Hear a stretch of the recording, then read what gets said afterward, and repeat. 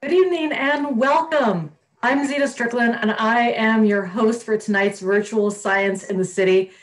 Thank you so much for joining and we appreciate you taking the time to connect with us this evening for this virtual event.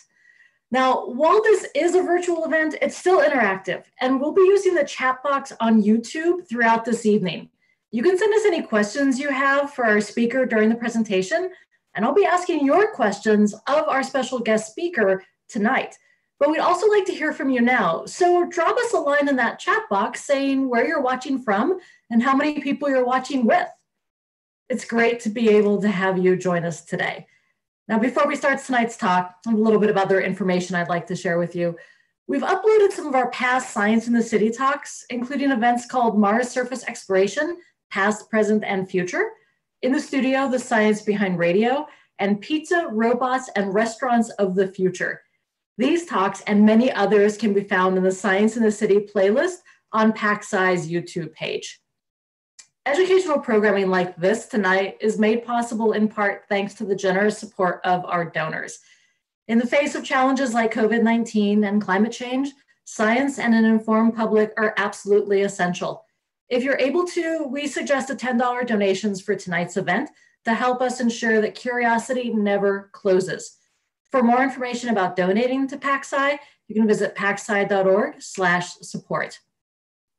Now, about tonight's talk, all about games. You've played games before, but have you ever created one?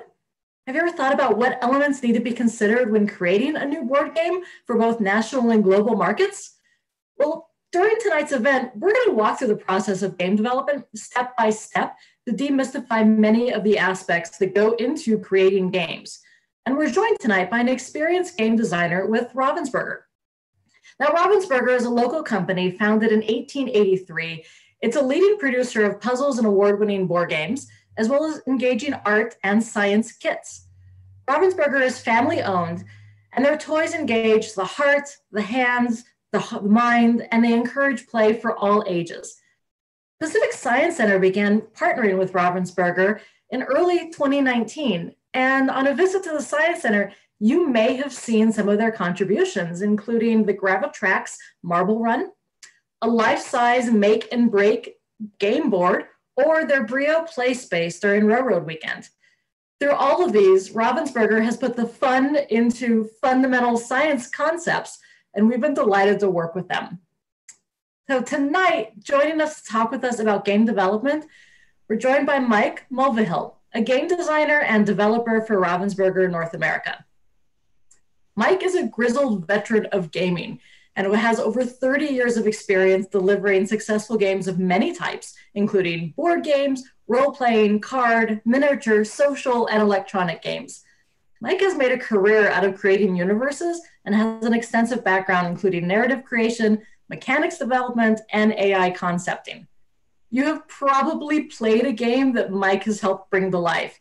His experience includes efforts with Disney, Marvel, DC Comics, Star Wars, Major League Baseball, NASCAR, Halo, Universal Pictures, Warner Brothers, and the Wizarding World of Harry Potter. Mike's originally from Chicago, but now resides in Seattle with his wife, his two daughters, and a snake named Sir Hiss. Mike, hello and welcome. We're glad to have you here with us tonight. Hi, it's uh, kind of weird when you hear your life narrated by somebody else. So, um, thank you, thank you for the invitation, and and uh, thank you. Uh, we love the partnership that we have with the Pacific Science Center. I was there for helping to set up for the Brio event, and just to see the the connection between play and science and learning and more play.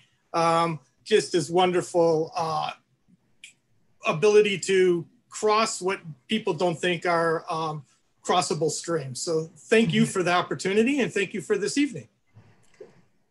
So let me go ahead and share my screen. I think that is working, hopefully. Is that working? I think so. Uh, as I was told, my name is Mike Mulvihill. I'm going to do a little presentation on the art and science of making games. Uh, I am a game developer at Ravensburger, North America. Um, just some background into me. Uh, I've been making games as we just learned for approximately 30 years or so. I've worked in, both in comic books and electronic games. I've worked, I actually taught at the UW Bothell for a while.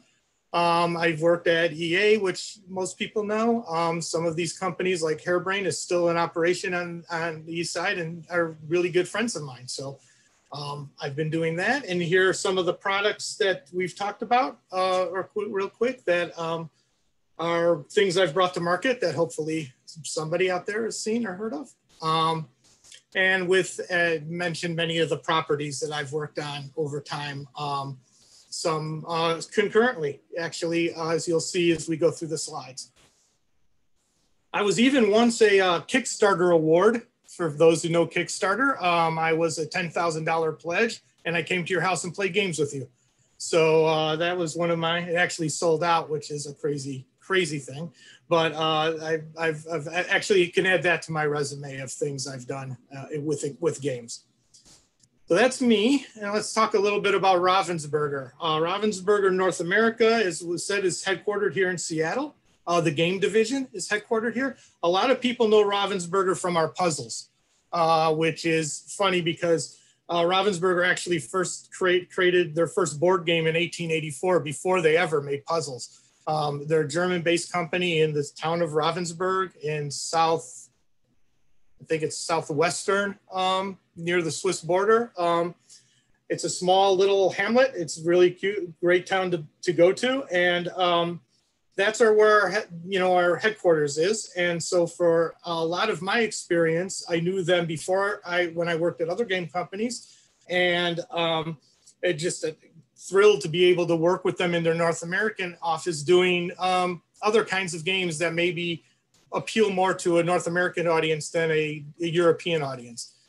Here's a quick little select, oops, selection of games that we do here. Uh, Disney Villainous is our big North American hit right now.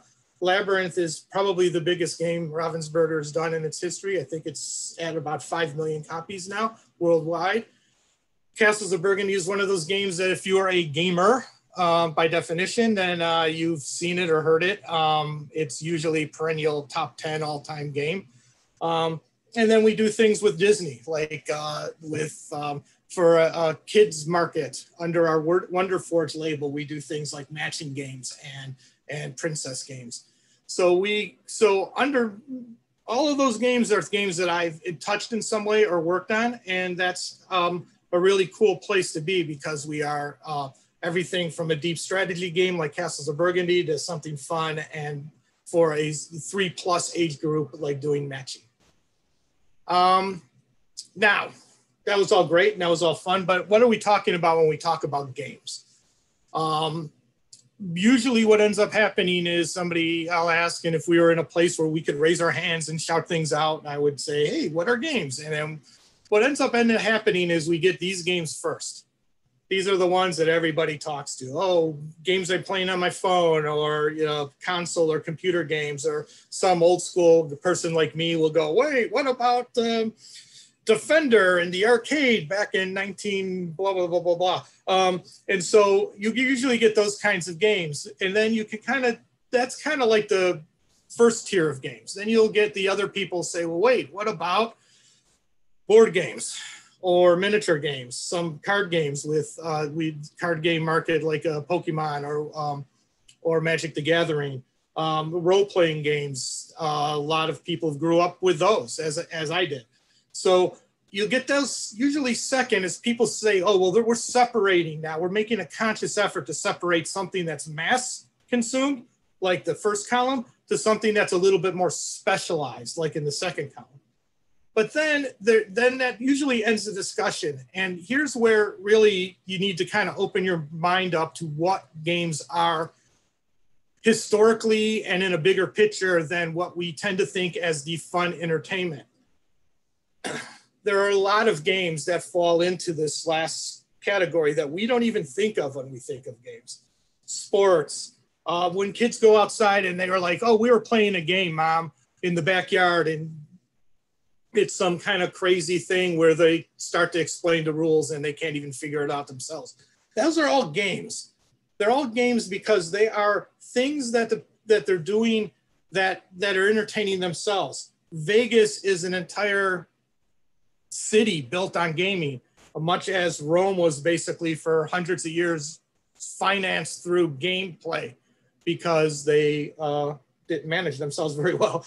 Um, but there are games that are out there that we don't think of as games because we don't classify them with the other two categories. And yet they're very much a part of the game culture or even the, the game uh, process. And so, you know, when we look at this, what are the takeaways? What makes all of the things on this page common? Um, have a, what, what are their common roots, if you will? Um, well, they all have rules whether you can explain them or not, they're there. Um, they have some kind of challenge or some kind of contest or something that allows you to to to declare a, a one lost victory. Sometimes it's a conflict between me and you, who's going to win the race first, and sometimes it's something we do cooperatively, like how do we together as a team uh, figure out how to cross this you know river in one of those kind of work uh, things that people do to you know do teamwork um, but mostly also they're interactive, meaning that you can play a game by yourself, but you're interacting with something, whether it's your own high score that you want to beat or you're interacting with other players. Uh, people don't realize, you know, we talk about kind of like the game culture, you know, as if it was something that was invented in 2015. When in reality, if you think, if you just go back in time, game culture has always been there. There was bowling and poker nights in the 50s. There was euchre and uh, bridge nights in the you know 1800s. So the social interaction of games is not something that's happened you know yesterday or when somebody said, "Oh, we're an interactive game, so we've just made that up." No, it's always been the case with games that they have that. But there's some other things that they have in common that we don't think about when we just pick up a game and start to play it with our friends. We enter games willfully so think about that for a second. If you're forced to play a game, then it's really not a game at that point. It's usually a punishment of some kind. And no one wants that. So a game by its pure nature needs to be entered willfully. It's it's got a closed system, i.e., for lack of a better term, a rule book. You are playing with the game using this set of rules. Sometimes those rules are very vague in a game of tag, for instance or it's really super formalized in the case of baseball that has like a rule book that reads like a law document. Um, they also create an internal value. There's no, the money in Monopoly doesn't really count towards anything, but in the game, it creates a value. It tells you, hey, in Monopoly, these fake pieces of paper are actually worth something towards a goal. And most importantly of all, and we'll get to this later in the, in the show, is there's player engagement.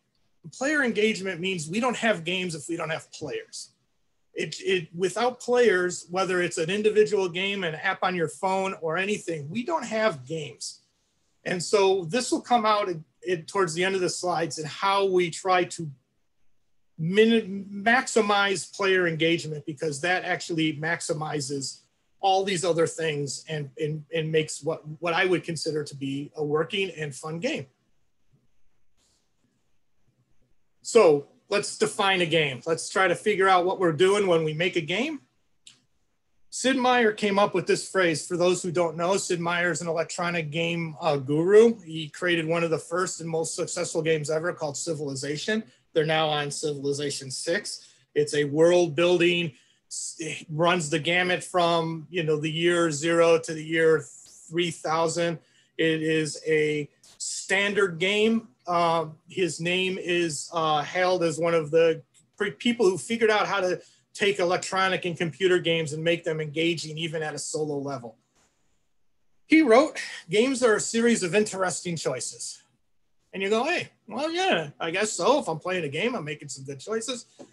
The problem with that statement and why it ended up leading people down to, if uh, those who are familiar have ever heard of the phrase gamification, that is, how do I take regular things and turn them into games so that you will do them, like spend more at Starbucks or buy more groceries or whatever it is, is because interesting choices is uh, kind of vague it may be to you on Thursday an interesting choice when you go to McDonald's and have to decide between a burger and a chicken sandwich. You go, wow, that's an interesting choice.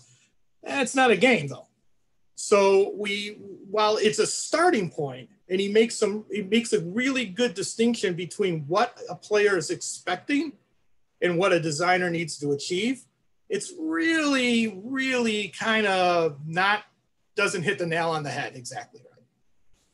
In a great book by uh, Katie Salen and Eric Zimmerman, they came up with this quote after uh, uh, doing a bunch of research, and that is a game is a system in which players engage in an artificial conflict defined by rules that results in a quantifiable outcome. So if you go back to a couple slides before, that's exactly what we said. And you're like, wow, that is a game. Yeah, I can understand that because it's an artificial conflict. Uh, it's defined by rules. There's there's an outcome. Somebody wins, somebody loses. Um, it makes perfect sense. Um, and it does. And it's a great, defi- defi- basically kind of big box definition of what a game is. And um, because the world we live in, people can't leave well enough alone, uh, philosophers got involved. Now, I personally have a degree in philosophy, so I tend to like philosophers a lot. But sometimes philosophers say things you don't want to hear. So, for instance, in the Grasshopper Games and Utopia, Bernard Suits comes up with this definition of games. He calls it the lusory attitude. And it's to play a game is to engage in activity directed towards bringing about a specific state of affairs using the only the means perhib- per- permitted by the rules, where the rules actually prohibit more efficient means, uh, excuse me, more efficient favor of less efficient means, where such rules are accepted just because they make possible such of activity. In other words, Playing a game is the voluntary attempt to overcome unnecessary obstacles. Wow. Um, when I first read that, I was got, I got angry. And then the more I thought about it, I'm like, no, you know, that's pretty true. um, you know, if you're if you're playing a game, um, let's say you're playing, uh, well, I'll show you some games later on, but if, if you're just playing a playing Mario and you need to give save the princess, it's not that Mario runs across the screen and saves the princess. He's got to jump over obstacles. He's got to dodge sliding uh, uh, turtles. He's he has to uh, dive down into sewers and go through a whole maze of things. It's not straightforward. It's like they made stuff up just to drive you nuts. And technically, that's what we do when we make a game: is we give you parameters, we give you a set of rules, we tell you here's the solution or here's what you're trying to do to win or just survive and uh, we're going to stack things against you. It, you know, uh, I always use the example of the infield fly rule in baseball. Where did that come from? Why is it necessary? Why is there a rule that says if a ball is hit into the infield, well, it's because somebody took the rules, tried to do something else, and and then in, in, and instead they said, wait, that, that wasn't very fair. You know, well, we got to make a rule up to stop that thing from happening, even though that was a simple solution based on all the other rules. So, yeah, he's kind of right. The problem with all three of those parameters, if you will, or de- definitions, is the word fun doesn't appear in any of them. And as we stated earlier, games are voluntary. You don't play a game if you don't think you're going to have fun doing it. So we have we now have a kind of a definition for a game, and we kind of know that it needs to be fun. So what, how do we build one? How do we make one? And I like to go, as I said, my philosophical background comes pouring out because I like to use as an example Aristotle there and his poetics, or because we're in a science-based uh, discussion, the periodic table. Everything has building blocks. Sometimes we don't acknowledge them, or sometimes we ignore them, or sometimes we don't even think about it. And I can't tell you how many times I've had a glass of water and never went, wow, that hydrogen and that oxygen really combine real well for me. And the same thing when I see a play or a movie, I don't go, wow, really, I, the diction in that was fantastic. But every once in a while, when it actually appears and matters, you notice it. And so, what I'm hoping today is to basically show you what those blocks are to get to that fun factor and and and make the games follow the model that we've outlined as as what a game is. So uh, this is based on some information from Jesse Schell's fantastic The Art of Game Design. Um, a, if you are ever interested in reading it, it is a it is basically a, a primer. And he comes up with four. And he's absolutely right. These are basically the four building blocks of a game uh, technology, aesthetics, story, and mechanics. And how are these applied and how do we use those? Well, technology doesn't mean like space age technology, you're always pushing the envelope. It's really the delivery system of a game. How is the game being delivered to the fan? It could be, as in the one picture in the in the right-hand corner, a card game. Cards are the delivery system for that game. That technology is not new. It's really, really old. And yet it still works because it delivers gameplay to people. Uh, more, you know, do you have VR, which is pushing the boundaries the other way, saying here's an entirely new game experience that we're using to try to make this a, uh, a viable new option. And then, of course, uh, there's a, a, you know our villainous game here down here in the bottom. Uh, uses cards and a small player board, moving pieces. Uh, again, each piece uh, its own little you know um, component to make a greater story. Of course, my all-time favorite and the thing that I love most of all is the Pop-O-Matic. I think that that uh, doesn't matter what whatever we do in VR or app-based game design, no one's beaten the Pop-O-Matic. In my opinion, it's the greatest thing ever. And then like something like even like Operation, which use batteries and electronics and buzzer sounds. All of those things are how the game is delivered to a player sometimes, oh, uh, one thing I guess I should say going back one slide is these aren't equal. These are dependent on the product you're trying to make. So while like talking about a card game, the technology is really, really low. It's already been established. You know exactly what people are getting. So technology is not where, you know, it's not pushing the cutting edge. It is there though. So you look at it and say, how am I being delivered this game? So uh, example that I use um, from one that I worked on at Ravensburger is a game called KNOW. We know that trivia games are popular. What we wanted to do was make a trivia game that was never ending. So that a card, a question could be asked today if I'm living in Seattle, Washington, and card, the same card could be asked of you if you're living in LA or in Japan or in Germany and the answer, because you're using the Google electronic device, the Google Assistant, would tell you the information where you're at. So if I said, hey, if we said, what is the temperature right now? I would say, oh, I don't know, 82 degrees. And it, it, but somebody in Germany might say 54, and it's night in Japan, so it might be, you know, 32. And because we could leave it vague like that. It could be Celsius or Fahrenheit. It could be, we could say, what is the temperature at the, at the top of Mount Everest? Because that's actually a data point that Google tracks. So with using the device, the electronic Google Assistant, we're able to create a, um, a trivia game that could never end. You, you could buy new cards for it. You don't have to buy new cards for it because every time you play it and where you play it and when you play it, um, it continues to operate. So our delivery system for this was very different than doing a regular trivia game. We needed to have electronic components. We needed to have uh, work with Google on a whole back end structure. So the technology for this was actually really an apparent and in your face, even though technically it was actually under the hood because you don't have to know all that stuff. You just have to, we just had to make it. So that, that's how technology plays a part in any game that you pick up and use. The next one's going to be pretty obvious to everybody when my slideshow moves. There it is, yay. And that's aesthetics. And that's, oh, and then it jumps bunches of things ahead as slideshows will want to do. Um, uh, come on, one more, one more. There we go. It's the look and feel of a game. This is a, a, a picture set of a bunch of um, our games at Ravensburger.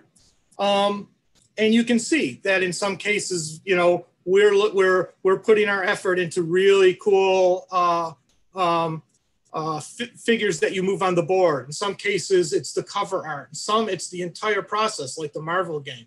Well, down here we have a game from Back to the Future, so we needed to use the aesthetics of Back to the Future or from wrestling what we're doing here is selling you the game. This is the game, the look and the look and feel of a game. When somebody goes, "Oh, that game was gorgeous," and it, we you, we know that it works. You they the crazy thing to combine, and you would think that aesthetics and technology would be opposites that oh if i'm going to spend time on technology i'm going to lose the aesthetics when when we are living right now at a period where both microsoft and and sony are going to be releasing technological updates to their newest consoles and they sell it to people by showing wow look at the really cool new graphics so in reality they're actually the same you know both sides of the same coin um, Ironically, this is not the correct slide, but I'll talk about it anyway. This is our game Labyrinth.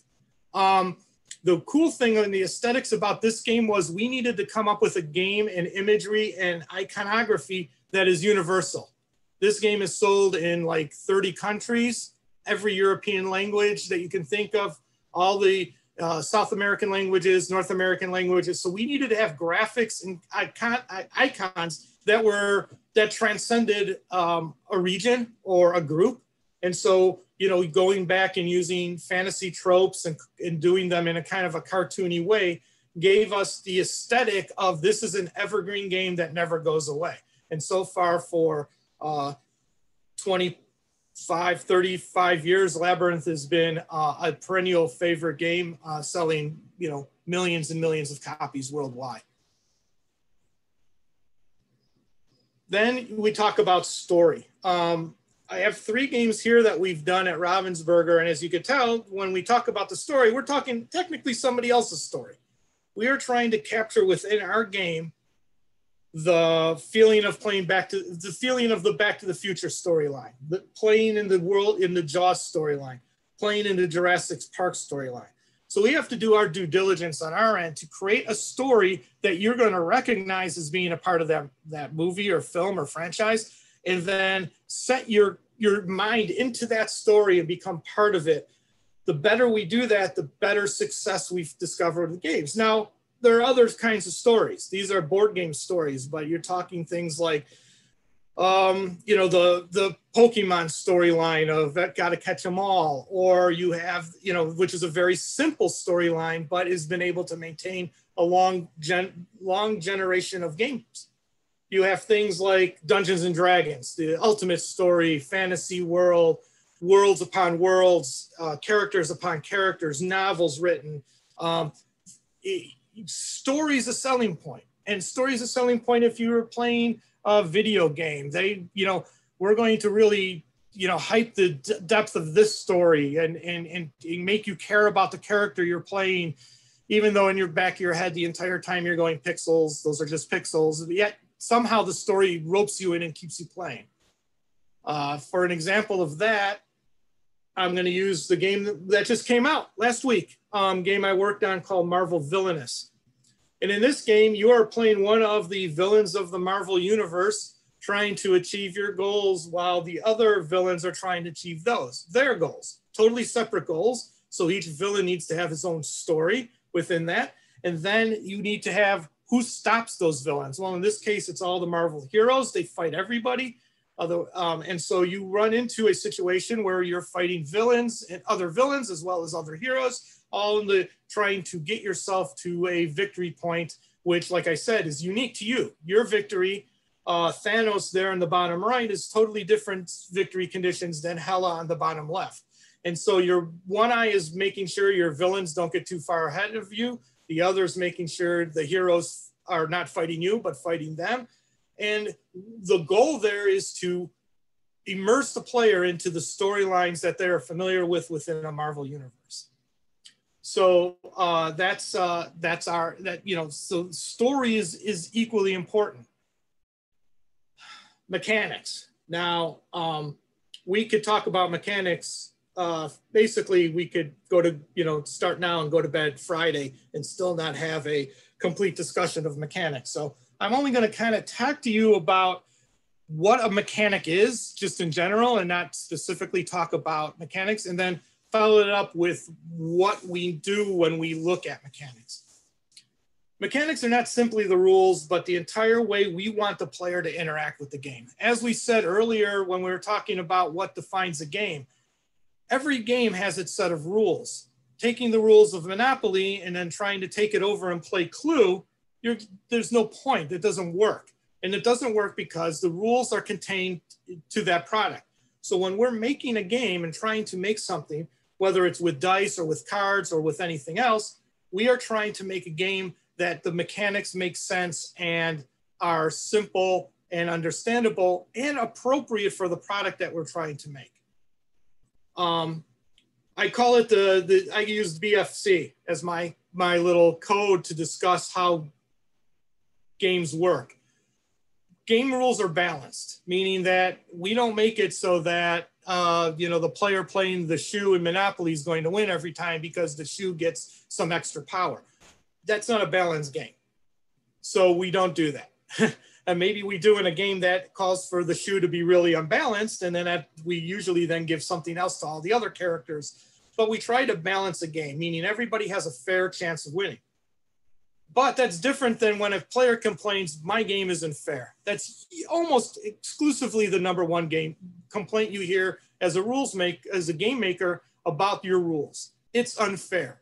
Why is it unfair? Well, somebody X thinks they have a better advantage playing a certain character than I do playing this other character. Now, sometimes that's actually skill level. You'll hear little kids say this game's not fair when they play against an adult and they're playing a quote unquote adult level game. They'll say this isn't fair. What they're really saying is you know more, you have more knowledge coming into this game than I do. We have to constantly make sure that those rules, if we are saying, for instance, this game is playable by ages six to 99, a six year old can't go, well, I can never win against my dad.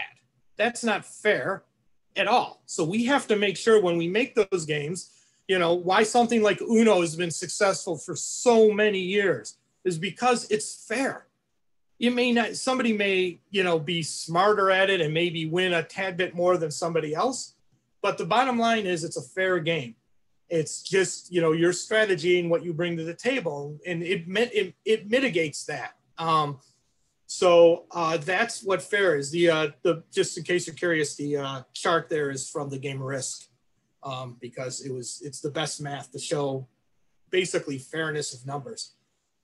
And then the last thing is, and my wife had to look this up because she didn't think it was a real word, word is comprehensible, meaning you have to comprehend the rules. They're not fair if you don't understand them. And they're not balanced if you if if rules are don't make sense.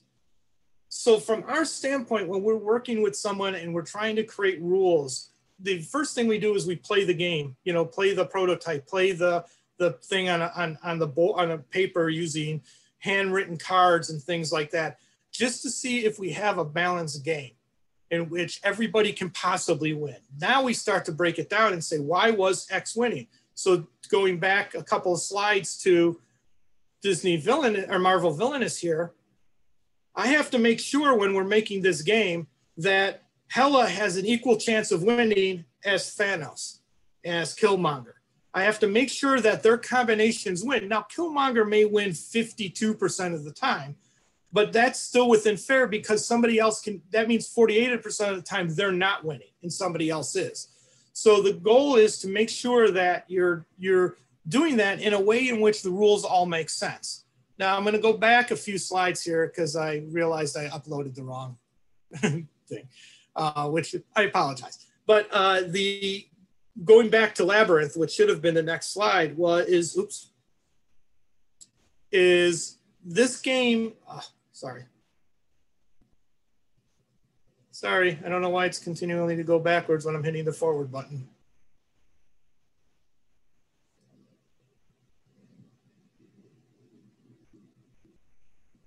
And one more, yay! Ah, Oh, there we go. Um, one of the things about mechanics that, that that has to be brought up is mechanics aren't always dice, and they're all not always some secret mathematical uh, digits being run in the back of a computer game to see whether or not you did enough damage to something.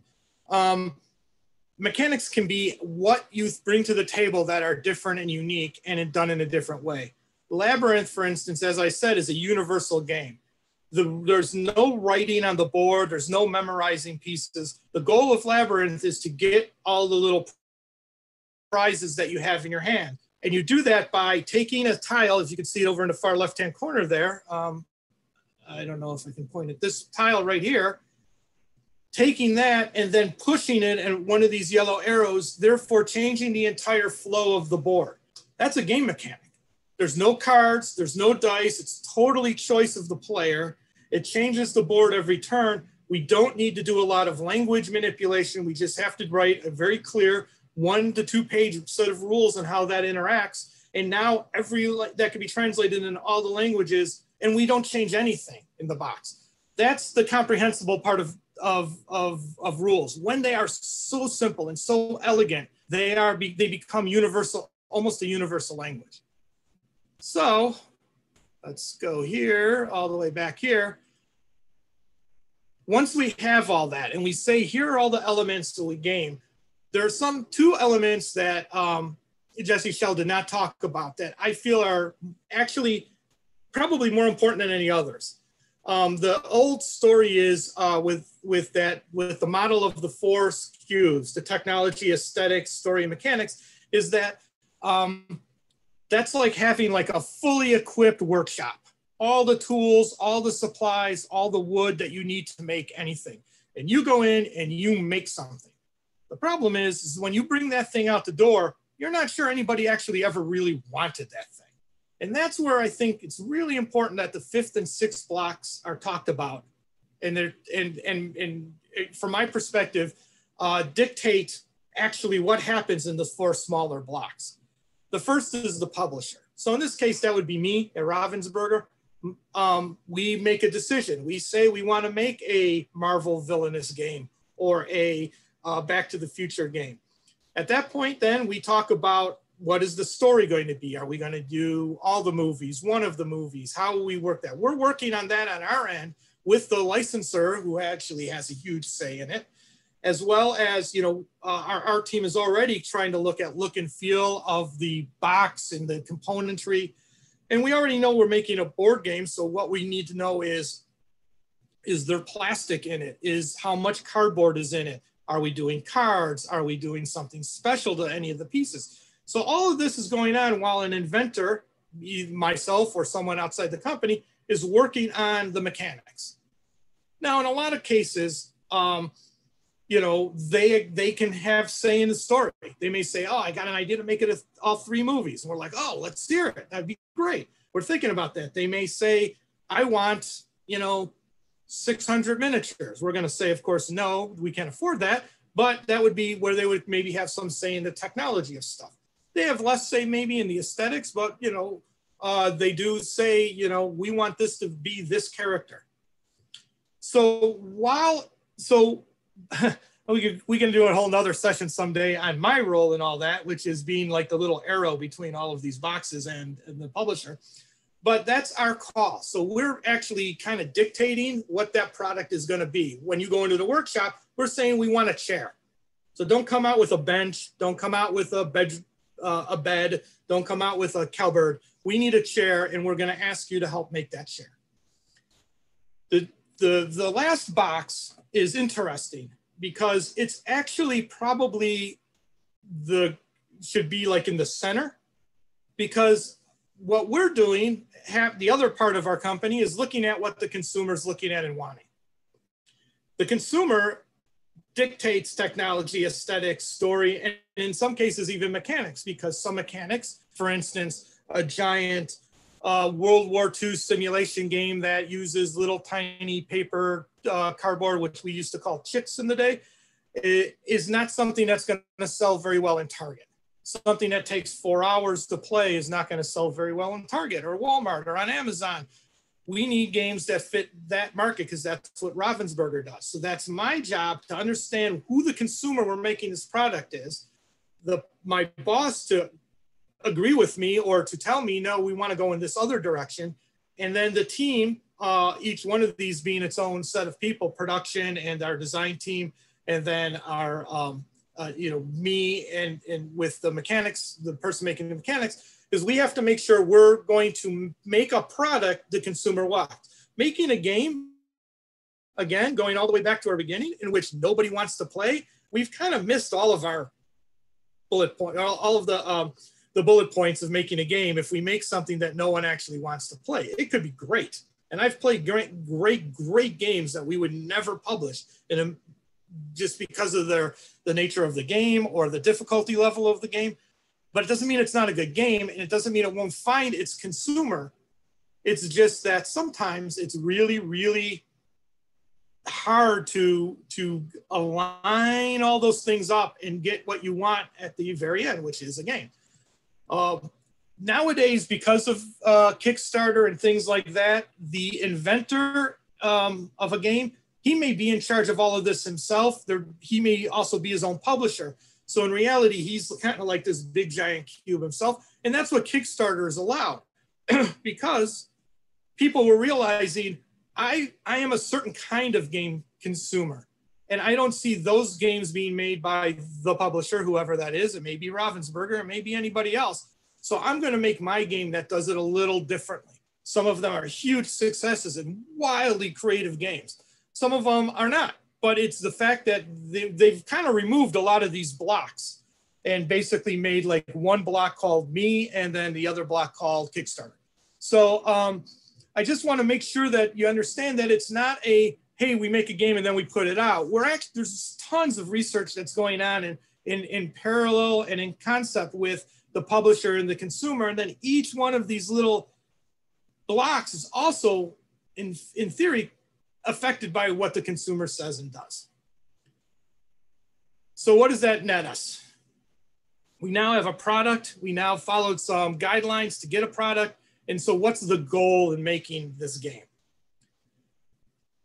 What we try to do now is, this is where the consumer comes in. We've listened to what they said. We've looked at the mod, we looked at what is interesting from everything from an IP standpoint to other games that are out there.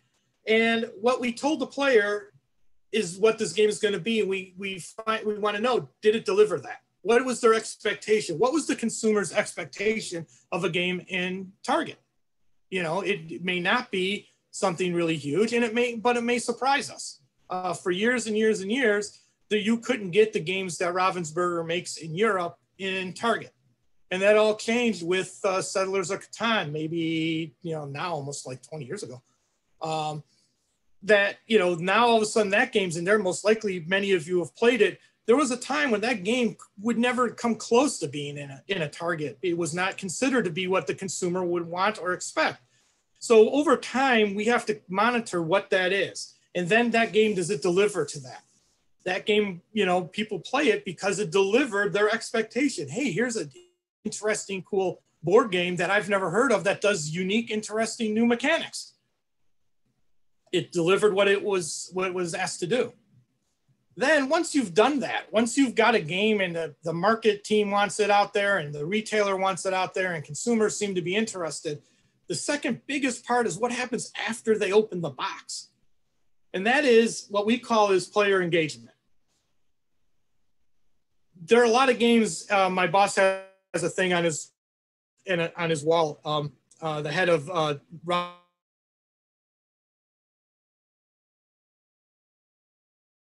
on as well. He says, let's keep games out of the game graveyard. And what he means by that is there are good games. There are really, really good games. And we've made some and realized we missed somewhere along the line. Whether it was when we looked at that box, we went too much on the aesthetics and left out some of the mechanics, or whether it was something like, um, you know, this game's way too difficult for this crowd. We've missed the mark somewhere along the line in one of those four boxes and either of the two larger boxes. So what we try to make sure we get is that player engagement. I played this game. I didn't win, but man, there was something cool in here.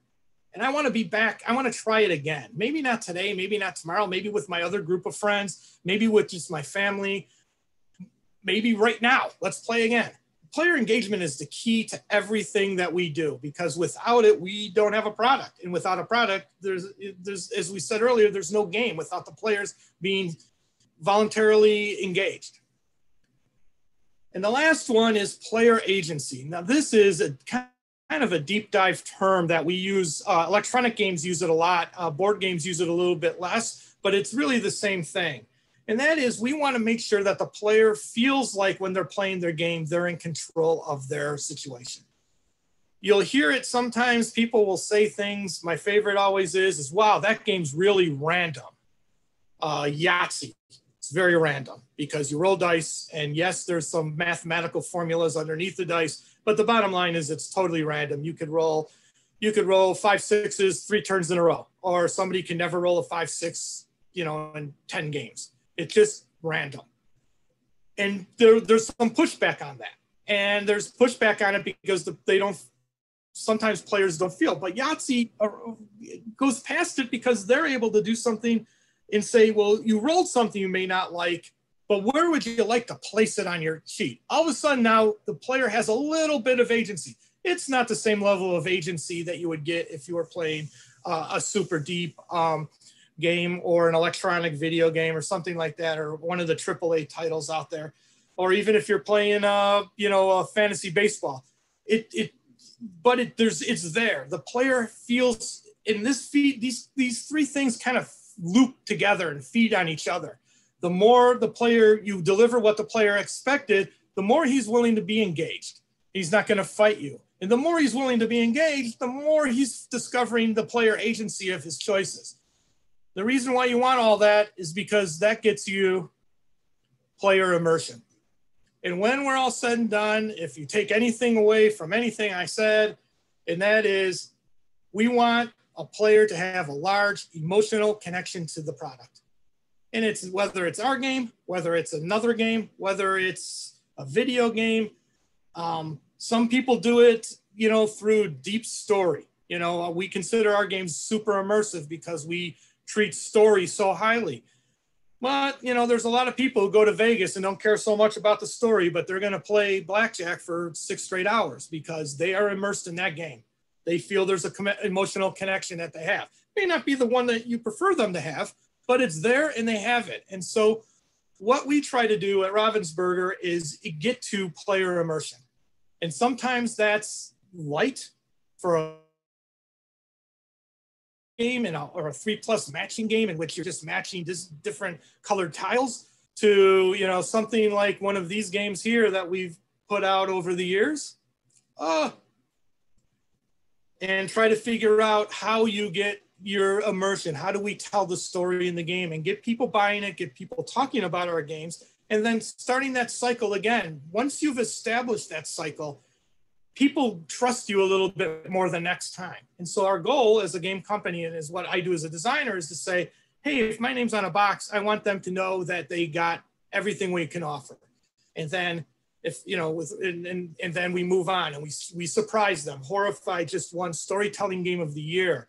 Um, it, we we thought it was a really cool game with a really cool hook, but we did not see the fact that we really kind of hit a bunch of those points sometimes on purpose and sometimes things just happen in your favor um, and so we that um, is how we come about and think about making games at Ravensburger. It's also how I come around and think about making games. And so at this point, I guess I'm more than happy to answer anybody's questions about this. I hope you learned something. And then, of course, I'm more than happy to answer questions. Excellent, Mike. I am so thank you so much for joining us. That was a great talk. Um, I'm glad you're happy to answer some questions because we have a lot of them for you. Um, not paying attention to the chat, everybody. It's an amazing chat, along with some side conversations with some game recommendations. So I highly encourage you to take a look at that. Um, we will save this video for later, so you'll be able to watch it again. Um, and there's some amazing game recs. Uh, as we said, we are going to move on to the question and answer portion from you now. So if you do have any questions or comments, leave them in the YouTube chat and I'll let Mike know what they are. Um, also, if you haven't yet, let us know where you're watching from and who you're watching with. Um, we have people from all over Western Washington, um, from Queen Anne and Mercer Island to Everett, Redmond, Puyallup, um, also Los Angeles, Las Vegas, and Kentucky a lot of people are watching with some family, with friends, um, and with some cats as well. Um, Mike Sir Hiss, is that from? How'd you get that name? uh, it's not my cat. Uh, my excuse me. It's not my uh, snake. It's my daughter's snake. She brought back for, with her from college, and Sir Hiss is obviously from the Disney Robin Hood movie. So that that was definitely the guess in the chat. Hello. So when we're there was a great comment that Ben made when you were talking about some of the blocks that are put into gameplay, which I thought was just a great comment, which is, you know, golf would be a lot more efficient if you just picked up the ball and placed it in the hole. I'm I'm sorry. I'm I'm uh, I apologize, people, everybody. I'm I, that kind of broke up a little bit. I might turn. Is it okay if I turn my camera off real quick? Absolutely. Yeah. So. All right. I'm sorry. Yeah, we'll we'll see if that works and help with the stream a little bit. Um, so golf would be a lot more efficient if you just picked up the ball and placed it in the hole. So having right. Blocks are really important to game design um, which I think led us to a conversation about groups competing to or working together towards a goal. Um, yeah, cooperative. Yeah. yeah, go ahead. Uh, so cooperative gameplay is a real interesting and, and, and you know um, uh, mechanical breakdown of how a game works. And it's when it's all said and done, it technically, if you think about it, works the same way as a regular game. In a regular game, it's me versus you or me versus the other players. In a cooperative game, it's almost us versus something. Sometimes mm-hmm. it's a clock, a timer. Sometimes there's a track on the board for every time you get wrong, something happens. So when talking about, a, so yes, that's an actual tool in the tool shed, if you will, of game design. Is where do we make a game? Uh, Horrified, for instance, is a cooperative game, and we use that that you know to because that was an idea of saying, well, no one wants to either everybody wants to play the monsters or you know no one wants only one be monster and we don't get to be the monsters. So when you're sitting there coming up with that story for the game you start to look at all of the options. Well what would be cooler would be the monsters running rampant and we're trying to to uh, you know stop them. Well that's cool but we then we need some sort of other tracker something in, in horrified there's a terror tracker. So every time something happens poorly the the the, the, it gets closer to the monsters winning. And so, yeah, um, uh, the, the big one that a lot of people play now uh, with the unfortunate name of pandemic um, is a is a board game that has kind of made made a real kind of public push towards um, cooperative games, which allowed us to publish something like Horrified. Again, the change in what the consumer will allow allowed us to put a game like Horrified out because it's a cooperative game. Consumers were more ready to accept a game that involved teamwork than than involved um, uh, you know just us all fighting against each other, if you will. I hope that yeah. answered the question. I missed a part of it with my crazy. No, I, I think that that was great. Um, I want to touch a little bit on what consumers are looking for because, as Pam commented, we've heard that the puzzle world has definitely took off when COVID hit. Um, so, is are we seeing a, a change in the types of games people are looking for right now during these these COVID times. Yes. Oh, totally. COVID themed um, game in the future. a lot of a lot of stuff has changed. Um, the it, from our standpoint, I won't speak about other companies, but from our standpoint, what we saw is, and we don't use, we don't make a lot of these games, so it didn't affect us so much. But a lot of uh, what we would call the plastic play games these are the games that are advertised on, you know, various kid channels. Um, uh, you know, um, usually some kind of silly slash toilet humor style gameplay, you know, of, of like uh, getting hit in the face with a pie or, you know, stepping on something. Those games really took a massive hit because of how they're purchased.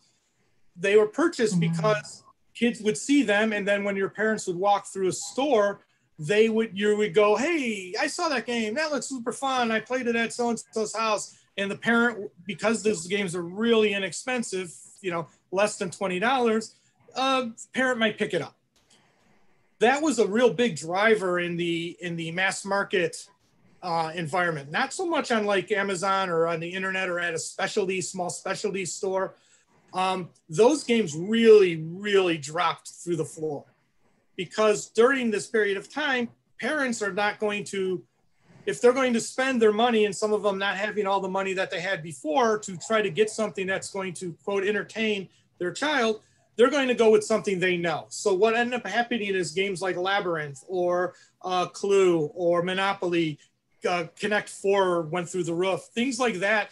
Um, became a, a, a, default, if you will, for parents because they knew the game. They didn't have to learn it. They're all crammed in the same house together. So there was not a lot of time. Also, we saw in the very first, second quarter of the year, so basically the first uh, quarter trimester of this of, of isolation, educational games going way up. Parents are like, mm-hmm. hey, if I'm going to spend it and I'm going to also have to do some level of teaching or education uh, on my end, I want something that's going to be uh, useful in that regard. So we have a division called ThinkFun, um, which does educational STEM games, and they had a they they saw a big increase in their ability to to uh, do that. So there's a lot of games that, um, much like the GraviTrax and the things that we do with the Pacific Science Center, that are that are activities but have an educational aspect. Games that had or could be defined with an educational aspect also took off during that period of time. So you were commenting about parents loving games where they know how to play. Carmela commented about some of the challenges in learning a really dense game and have it so much easier when somebody's explained it to her. Um, There's, uh, yeah, that's usually me because I'm pretty sure that's my sister. Um, so um, can, can you talk a little bit about the thought that goes into like making just, you know, those quick instruction sheets to help people learn how to play a game? Yeah, it really comes down to, for our standpoint of that audience, and what we know about games, and this, and what we know really about life. So it's not really a game thing, but we use it all the, we talk about it all the time in games, and that is what we call playing up. So, and we know it. We know that the youngest child wants to do what the older child is doing. So if we make a six plus or an eight plus game, let's say uh, Marvel Villainous, which is like 10 plus so if we take a 10 plus game, we know that we can't do a Disney game that's not gonna that's not gonna have a six or eight year old hanging on the game, game trying to figure out. Um, and so we know that when we make a game, we try to make the rules go down. Sometimes that's it's not we don't succeed sometimes we make the rules for exactly the group we're making them but what ends up happening and what we try to do is the crazy thing about what this um, pandemic has done is we now do things like uh, live video gameplay tutorials.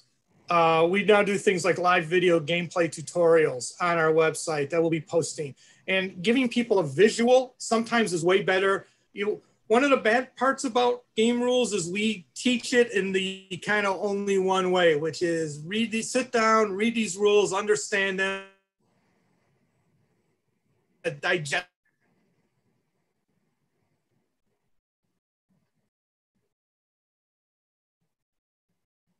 Yeah, it sounds now like how, how play a game, and some people don't that way. Some people learn, as we know, you know, visually. Some people learn. Some people doing going all the way back if you want technology.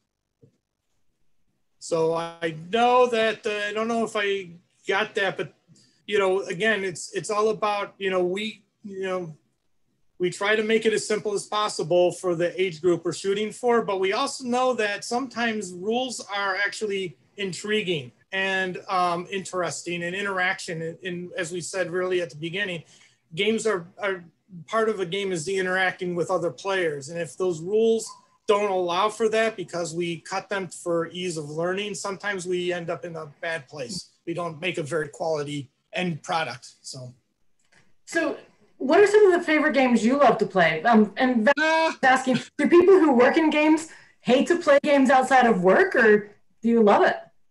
Uh, I play a lot of games. I own a lot of games. I play a lot of games. Um, I, I, will state up and down uh, until uh, the bitter end that I think one of the more clever, creative, interestingly long-term games that I've that I play that I still use as a model is the game Clue. It, mm-hmm. I, I, know it sounds simple and, and silly to people, but it's it's the really the only mystery game in which you can play it and then turn around and replay it, not in having no in, in basically starting at scratch. You don't have there's no institutional memory and because of that, in the simplicity of them pulling that off back then, uh, Clue is, is one of my all-time favorite games. Um, from board game standpoint, uh, I love uh, the game Lords of Waterdeep. um, which is a game from Wizards of the Coast. It uses a, uh, a, a worker placement mechanic for those who uh, are interested in that terminology. Um, there's a game from, um, um, there's a really old history game that I love called um, uh, Kingmaker, which is about the War of the Roses. I, uh, my brothers and I played that until we couldn't stand each other anymore. Um, the uh, there's a game called um, Talisman, which I actually played on my uh, the night before my wedding with all my best men. Uh, that's uh, that's always a favorite game of ours, uh, my family and mine. Um, and then from Ravensburger, I actually really like Castles of Burgundy because it does something really unique in how it makes you make player choices and that that that player choice uh, loop, as well as a game that we did for kids called based on the Incredible movie. Um, uh, that's oh my gosh, I totally blanked on the name. I love that game. It's just so fun. It's like right on. It hits all the right notes. Uh, Save the Day is what it's called. So those are my games right now. Although Horrified is actually really good, and I'm working on. I've, I've been working on that game, so that one's really good. So yeah, some people were commenting on it in the chat for sure. Um, so it's aside from playing a lot of games, Luke's curious. What? How? How would you encourage a young person to? What should they study if they want to be a professional game designer? Well, the world's different than when I went to school. I there was nothing. No one ever thought anybody went into games as a career or any kind of lifetime thing. So as I said earlier, I have a degree in theater and I have a degree in uh, philosophy um, and a bunch of minor degrees. And I went to grad school for English literature, which I also have a degree in. Um, but that all said, there are schools now that kind of have there's schools now that have programs that have that teach you games. As I said, I taught games at UW Bothell for a while. Um, there's some really good teachers and schools and programs out there that have that. But, and I will state this from the very very early, and maybe if Luke's a high schooler, he may not want to hear that. Um, as you saw, everything was part of our dis- discussion.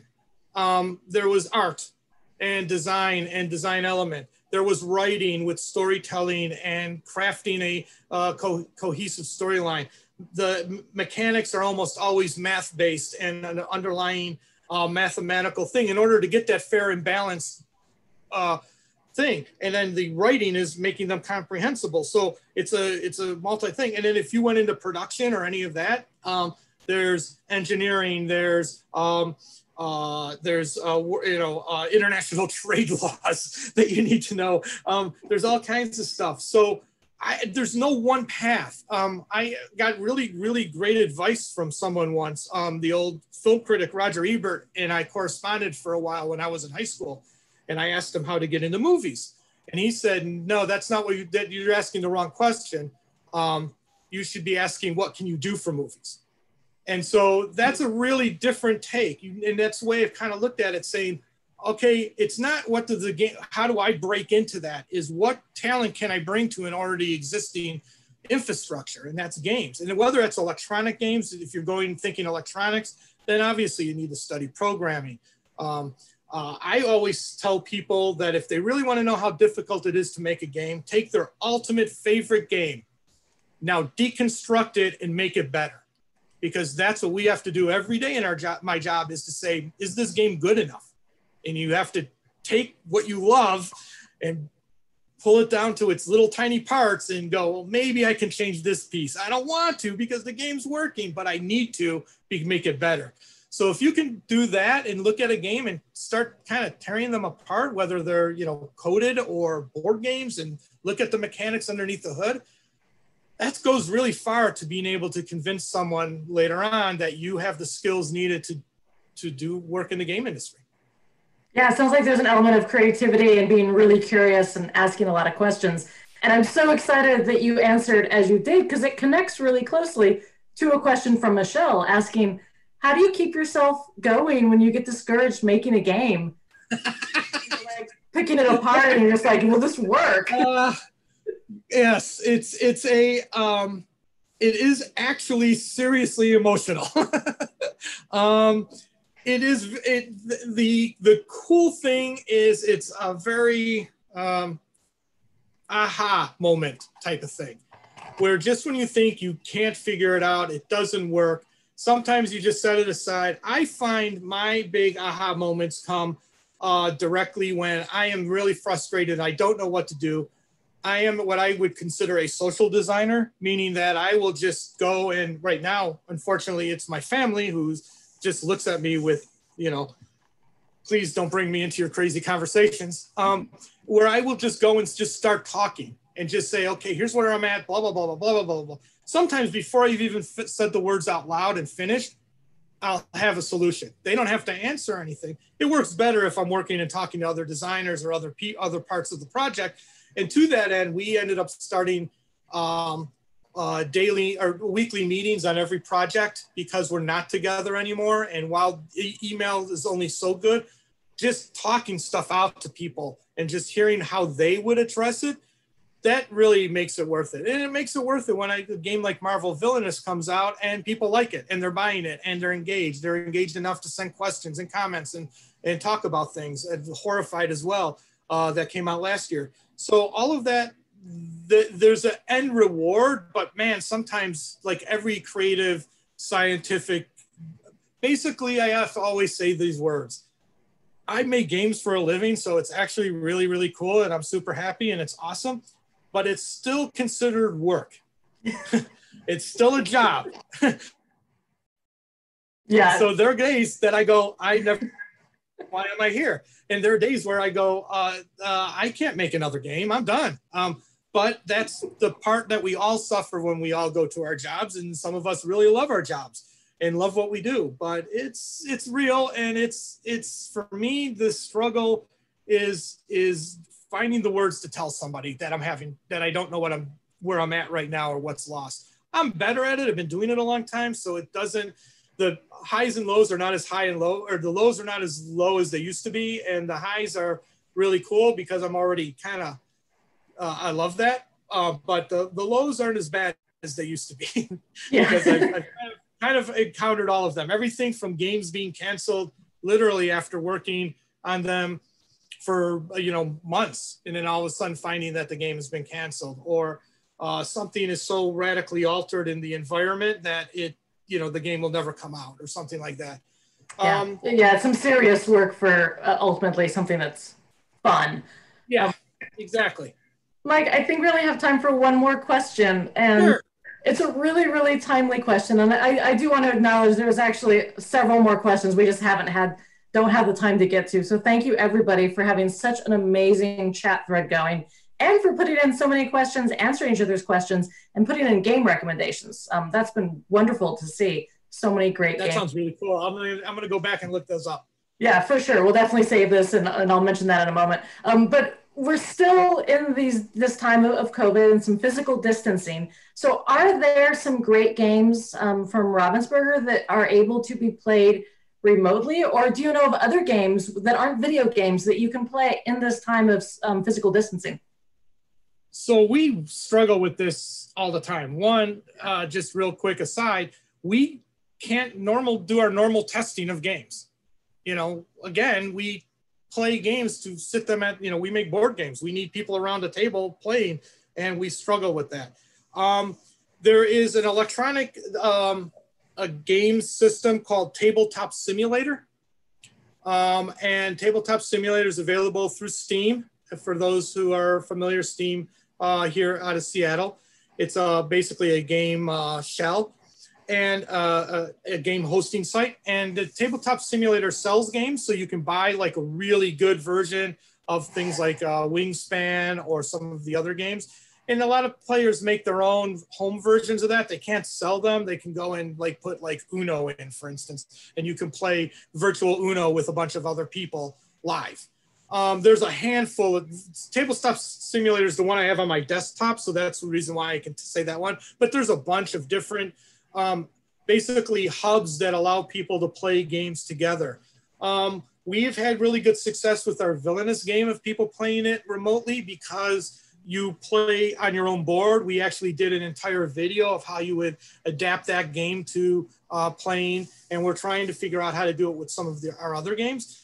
But we didn't foresee this either. right. as much as I make it sound like we knew everything, we actually didn't know this. And so a lot of our games, obviously, you know, something like Horrified for the people who've played it, that's almost impossible without, uh, you know, a whole rig set up in your home. But using tabletop simulators, a straight up screen screen thing. Um, there are there are communities uh, that have been trying to to figure out ways to play various games online. So I would, you know, do any kind of search for that. Like I said, mm-hmm. we've we figured out a way to do it for Villainous, so we we've been promoting that one, but uh, it is very hard. And we uh, um, I think our German team, and I don't know if they're all in English, has been doing it because they have a much deeper catalog of of like kids games and, and things like that that they've been trying to figure out a way to do than we do. Uh, sorry, it's we're in that same boat. We're trying to yeah. figure out how to do it ourselves, and uh, we didn't plan to have a lot of games to be able to do that. So we're still working on that part.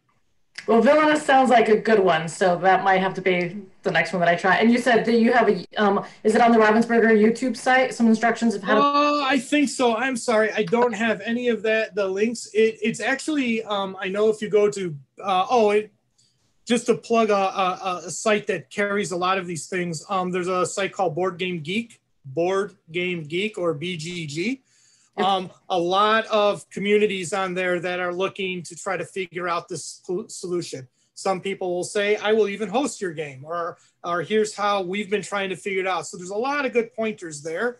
Um, that's they they were the company who did our um, they, they did our villainous uh, video, so it's in their system someplace, as well as okay. uh, probably linked to our stuff. That, that sounds great. we have everybody who's watching. If if you have an idea um, or if you have some links to some great games that can be played during these slightly more remote times, please go ahead and put them in the chat for everybody else as well. Um, and we have we have an awesome social media team that looks and, and tries to post those things. So if you follow us on Instagram or Twitter or even uh, Facebook, you'll see links that we will occasionally repost. And in fact, over the weekend, I, I told this to um, uh, uh, we the, would normally have been the biggest game convention in North America. It's called Gen Con for those who are not familiar.